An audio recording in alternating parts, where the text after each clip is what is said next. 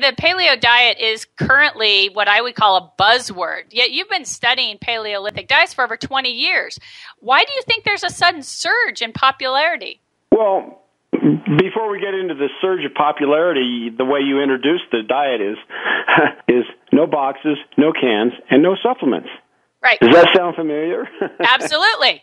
yeah, well, that's kind of what paleo is all about. Is that uh, let's try to, you know, get rid of processed foods, anything that comes in boxes, cans, or is wrapped in plastic, and let's focus on the foods that we find in the outer aisles of the supermarkets.